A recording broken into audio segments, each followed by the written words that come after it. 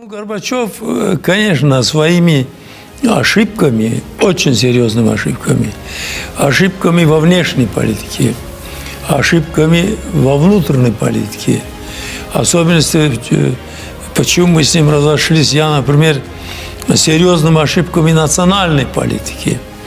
Если 15 республик составляет Советский Союз, но основа основ этого все же э, такое но э, здоровая национальная политика.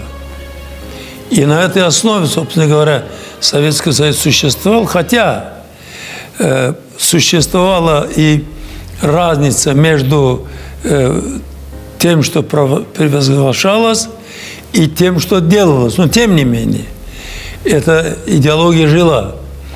А когда, когда он уже стал серьезные ошибки допускать э, по отношению к одной республике, к другой республике, и, пробегать уже к силе, например, на, нашей, на примере нашей республики, это чудовищное, понимаете, явление было. Я не помню в истории Советского Союза случая подобного январю 90 -го э, года, когда он вел огромный контингент войск сюда для того, чтобы подавить здесь ну, митинги и так далее. Но более глупого решения вряд ли можно было принять. Во-первых, если нужно было применять, применять силы здесь, я работал в Азербайджане, Баку, я знаю, что здесь достаточно было подразделений советской армии, которые можно было использовать.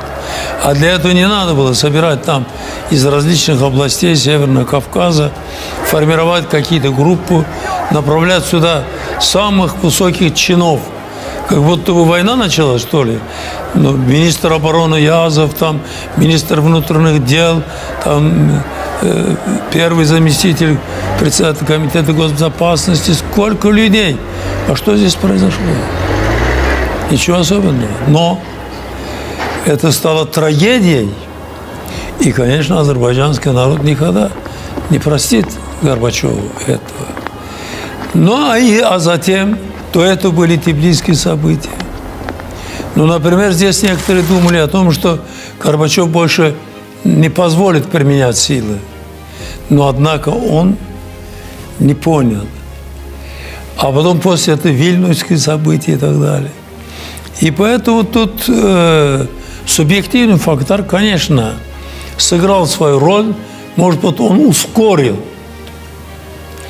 но это был не решающий. А самое главное создает в том, что тот, кто стоял во главе Советского Союза, не понимал, что он делает.